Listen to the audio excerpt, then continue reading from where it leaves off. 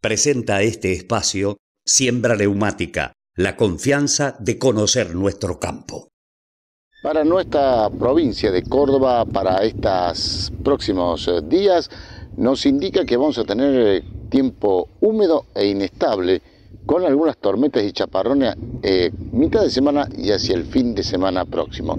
Esto debido a tres pasajes frontales de débil perturbación con milimetraje en Córdoba que tendremos un acumulado entre 20, 30 y 45 milímetros.